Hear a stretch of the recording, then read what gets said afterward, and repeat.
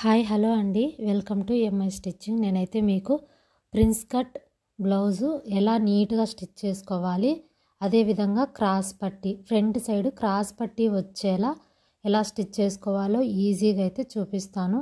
Just front shape ఒకటే చూపిస్తాను friends. అంటే ఆల్రెడీ నేను మీకు ప్రిన్స్ కట్ బ్లౌజ్ అయితే చూపించాను.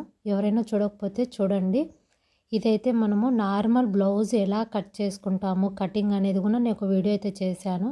సేమ్ అదే విధంగా అదే మెథడ్లో అయితే నార్మల్ బ్లౌజ్ ఎలా కట్ చేసుకుంటామో ఫ్రంట్ పార్ట్ అయితే అలాగే కట్ చేసుకోవాలి. దీంట్లో ప్రిన్స్ కట్ అలాగే క్రాస్ పట్టి ఎలా స్టిచ్ చేసుకోవాలో ఈజీ మెథడ్లో అయితే చూపిస్తాను. చూడండి. మనము ఫ్రంట్ పార్ట్ అయితే ఇలా కట్ చేసుకుంటాం కదా ఇలా షోల్డర్ సెంటర్లోంచి ఒక లైన్ అయితే డ్రా చేసుకోండి. మనము చెస్ట్ షేప్ కోసము చిన్న మార్కింగ్ మూడున్నర దగ్గర ఒక మార్కింగ్ వేసేసుకొని కర్వ్ స్కేల్ తీసుకొని సెంటర్లో ఆ మూడున్నర డాట్ టచ్ అయ్యేలా అలా క్రాస్గా ఒక లైన్ అయితే డ్రా చేసుకోండి.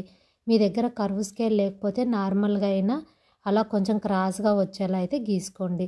కింద ఒక inch one inch one inch గ్యాప్తో dots పెట్టేసుకొని ఆ డాట్స్ని కలుపుకుంటూ ఇలా కర్వ్ స్కేల్ సహాయంతో క్రాస్గా అయితే మార్కింగ్ వేస్తున్నాను. చూడండి వీడియోలో చూపించిన విధంగా ఇలా అయితే వేసేసుకొని దీని చుట్టూ మనమైతే ఒక కుట్టు అయితే వేసుకోవాలి. అంటే మనం ఎక్కడ లైన్ డ్రా చేసామో అక్కడైతే జస్ట్ ఒక్క రవ్వ చిన్న గ్యాప్తో అయితే మనము కుట్లు అయితే వేసేసుకోవాలి. నేనైతే కొంచెం స్పేస్ వదిలిపెట్టి రెండు కుట్లు అయితే వేసాను చూపిస్తున్నాను చూడండి.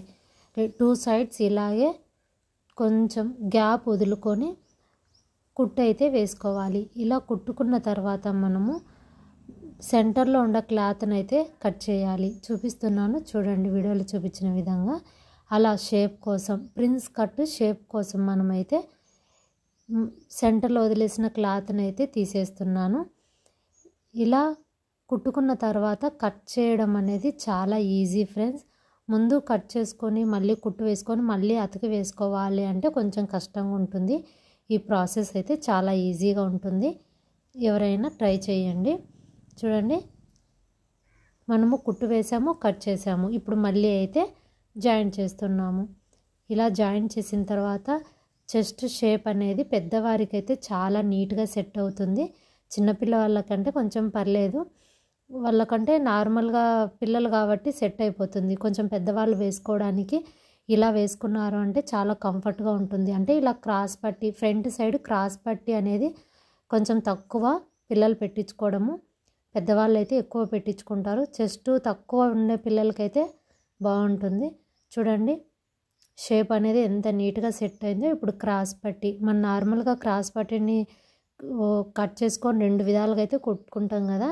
ఇప్పుడు మనము బ్యాక్ ఓపెన్ కాబట్టి ఫ్రంట్ సైడు క్రాస్ పట్టిని కట్ చేయకుండా డబల్ రెండు ఒకటేసారి అయితే జాయింట్ చేస్తున్నాము. వీడియోలో చూపించిన విధంగా జాయింట్ అయితే వేసుకోవాలి. చూడండి ఫస్ట్ ఒక సైడ్ నుంచి కుట్టాను ఇప్పుడు తిరగదిప్పి మళ్ళీ ఒక సైడ్. పాదము కొంచెము పైకి కిందికి జరుపుకుంటూ కూర షేప్ నీట్గా వచ్చేలా అయితే స్టిచ్ వేసుకోండి.